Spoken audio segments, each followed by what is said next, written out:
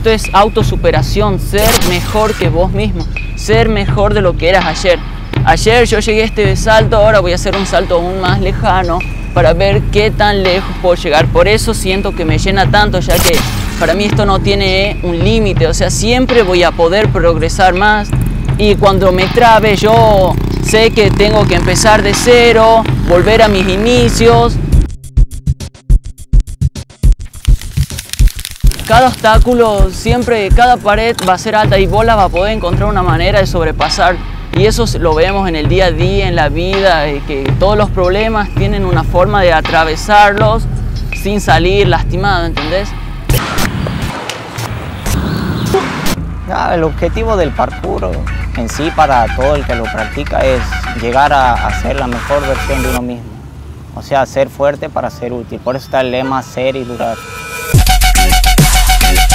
Thank you.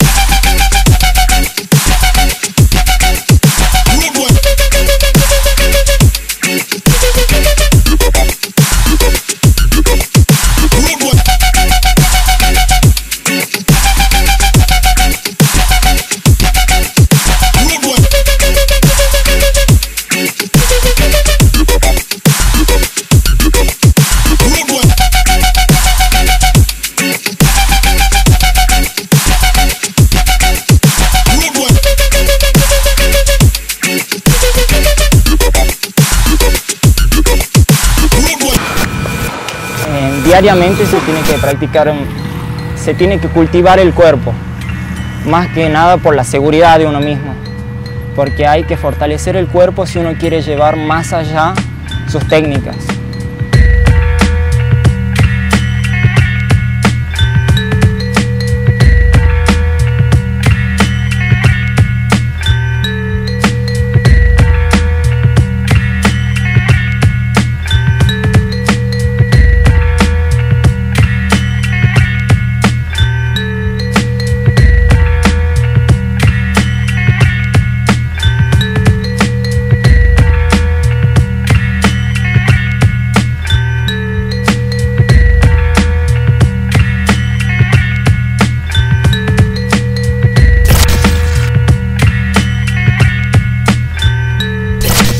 Ya llevamos medio año con FunFlow y hasta ahora se siente el progreso y que la gente que viene tiene compromiso y que entiende qué es lo que es el parkour en sí, porque como te dije hace rato, no solo son chicos saltando, es una filosofía, es una manera de vivir para algunos.